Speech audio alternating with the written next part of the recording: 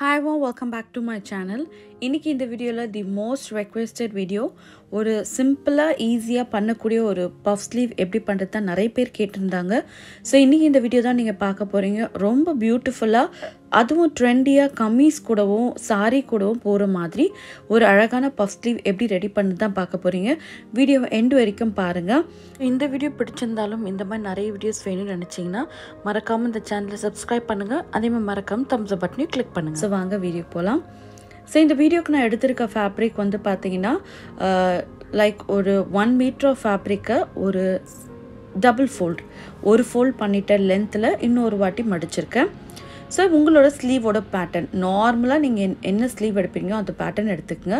இந்த sleeve pattern வந்து பார்த்தீங்கன்னா மேலேருந்து ஒரு ரெண்டுலேருந்து மூணு இன்ச் வரைக்கும் விட்டுட்டு நான் இப்படி வச்சுருக்கேன். ஃபோல்டட் சைடில் ஓகே ஸோ இப்போ இந்த மூணு இன்ச்சுன்ற கணக்கு வந்து பார்த்தீங்கன்னா உங்களுக்கு எவ்வளோ பெரிய பஃப் வேணுமோ அந்த அளவுக்கு நீங்கள் வைக்கலாம். அது நாலு இன்ச்சாக கூட இருக்கலாம். ஸோ இட் டிபெண்ட்ஸ் ஸோ இதை வச்சுட்டு இந்த பேட்டர்ன் பேப்பரை சுற்றி இப்போ நம்ம நம்ம வரைகிறோம் ஸோ மேல் பக்கம் வந்து பார்த்தீங்கன்னா கரெக்டாக உங்கள் பேட்டர்ன் பேப்பர் எங்கே இருக்கோ அதுலேருந்து அவுட்டர் ஒன் இன்ச் வந்துட்டு இந்த மாதிரி வரையணும். ஸோ நான் இப்போ இதில் எப்படி காட்டியிருக்கணும் அதே மாதிரி நீங்கள் ட்ரா பண்ணுறீங்க தையலுக்காக வெளியே ஒரு இன்ச்சும் அந்த பஃப் வந்து நல்லா தூக்கி நிற்கிறதுக்காக அதோட ஃபோல்டிங் சைடில் மேல் பக்கத்தில் ஒன் இன்ச்சும் விட்டுட்டு நான் அப்படி மார்க் பண்ணி இதை கட் பண்ணி எடுக்கிறேன்.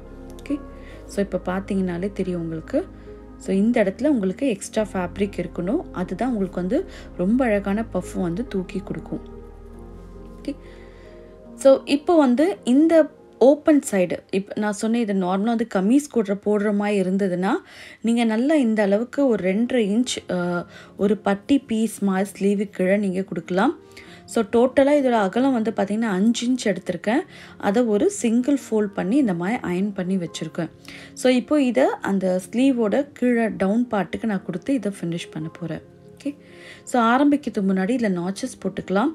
ஸோ நம்ம ரெண்டரை இன்ச் வரைக்கும் விட்டுருக்கோம் இல்லையா? அதுலேருந்து ஒரு அரை இன்ச் எக்ஸ்ட்ரா சேர்த்து நீங்கள் நாச் பண்ணிக்கோங்க. ஸோ நான் அங்கே இருந்தால் நம்ம வந்து கேதரிங் பண்ண ஆரம்பிப்போம். ஸோ கீழேயும் அதே மாதிரி நாச் பண்ணிக்கணும்.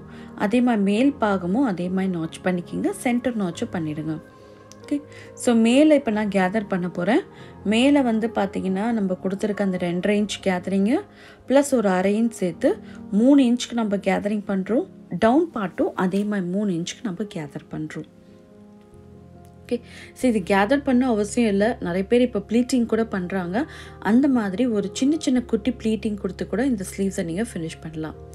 ஸோ டாப் பார்ட்டை நான் கேதர் பண்ணிட்டேன். உங்களுக்கு தெரியுதா? நல்லா தூக்கி இருக்கும். நீங்கள் தைச்சு முடிக்கவுமே அந்த பஃப் வந்து நல்லா தூக்கி எடுத்து உங்களால் பார்க்க முடியும். முடிஞ்ச வரைக்கும் இது நல்ல ஒரு ஸ்டிஃபான ஃபேப்ரிக்கில் நீங்கள் ட்ரை பண்ணிங்கன்னா இன்னும் அவுட்கம் வந்து ரொம்ப அழகாக இருக்கும். ஸோ இப்போ இந்த ரெண்டு பக்கமும் கேதரிங் கொடுத்தாச்சு. இப்போ கீழே அந்த பட்டி பீஸ் கொடுக்குறோம். பட்டி பீஸ் கொடுக்க அந்த அந்த பட்டி பீஸோட ஒன் சைடு மட்டும் நம்ம ஒரு சிங்கிள் ஃபோல்ட் பண்ணி அந்த ராயஜ் மேலே ஒரு தையல் போட்டு இதை நம்ம ஃபினிஷ் பண்ணிடலாம். ஸோ இப்போ நிறைய வெஸ்டர்ன் அவுட்ஃபிட்டில் இந்த மாதிரியான ஒரு uh, பஃப் ஸ்லீவ் வந்து விரும்புகிறாங்க ஸோ கண்டிப்பாக நீங்கள் வெஸ்டர்ன் அவுட்ஃபிட்க்கும் இதை நம்ம கொடுக்கலாம். ஸோ ராயஜ் டு ராயஜ் இந்த மாதிரி மேட்ச் பண்ணி இப்போது இதுக்கு மேலே ஒரு தையல் போட்டு இது நம்ம ஃபினிஷ் பண்ணுறோம் ஸோ வெஸ்டர்ன் அவுட்ஃபிட் பண்ணும்போது ஷார்ட் ஸ்லீவ் மாதிரி பண்ணாமல் ஒரு த்ரீ ஃபோர்த் ஸ்லீவில் மேலேயும் கீழேயும் இதே மாதிரி uh, கேதரிங் வர மாதிரி வைக்கும்போது ரொம்ப அழகாக இருக்கும். Uh, சம்டைம் இது ஃபுல் ஸ்லீவுக்கும் இதே மெத்தட் அவங்க ட்ரை பண்ணுறாங்க ஸோ இது தைச்சி முடித்த பிறகு இதை ஓப்பன் பண்ணி இப்போ இந்த ராயல் ஜெல்லாம் உள்ளே போகிற மாதிரி இதுக்கு மேலே இப்படி க்ளோஸ் பண்ணி இதுக்கு மேலே ஒரு தையல் போட்டு இப்போ இந்த நம்ம ஸ்லீவ்ஸை ஃபினிஷ் பண்ணிடலாம். ரொம்ப சிம்பிளாக ஈஸியாக பண்ணக்கூடிய ஒரு ஸ்லீவ்ஸ் ரொம்ப பியூட்டிஃபுல்லாகவும் இருக்கும். கண்டிப்பாக எல்லாருமே ட்ரை பண்ணுங்கள் because this is the most requested video எல்லாருமே கேட்குற ஒரு வீடியோ ஸோ இதுதான் பார்த்தீங்கன்னா எண்ட் ரிசல்ட் ரொம்ப அழகாக ரொம்ப ப்ரிட்டியாக ஒரு ஸ்லீவ் நமக்கு ரெடி ஆகிடுச்சு கண்டிப்பாக எல்லாருமே ட்ரை பண்ணுங்கள் ஸோ வீடியோ வரைக்கும் எண்ட் வரைக்கும் பாருங்கள் இந்த இந்த ஸ்லீவோட அவுட்கம் நான் உங்களுக்கு ஷேர் பண்ணியிருக்கேன். ஸோ இப்போ இதை நம்ம பாடிஸ் கூட வச்சு அட்டாச் பண்ணணும். நம்ம sleeves ready so see next time to take care bye